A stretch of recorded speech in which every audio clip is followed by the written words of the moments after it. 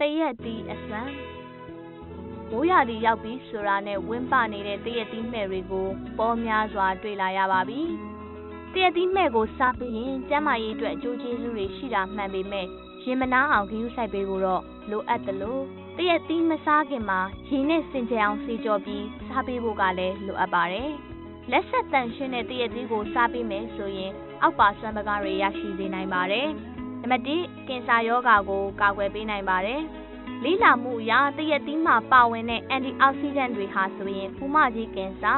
ရင်သားကင်ဆာစီးကျိတ်ကင်ဆာစတဲ့ကင်ဆာရောဂါအချို့ကိုမဖြစ်အောင်လို့ကာကွယ်ပေးနိုင်စွမ်းရှိတယ်လို့သိရပါတယ်။နံပါတ်2သွေးအတွင်းမှာရှိတဲ့မကောင်းတဲ့ကိုလက်စထရောတွေကိုလည်းလျှော့ချပေးပါတယ်။တရက်သီးမှာအမြင့်ဓာတ်ပရိုတင်းနဲ့ဗီတာမင်စီတို့များစွာပါဝင်တဲ့အတွက်ကြောင့်သွေးရင်းကိုလက်စထရောအဆင့်ကိုလျှော့ချစေပါတယ်။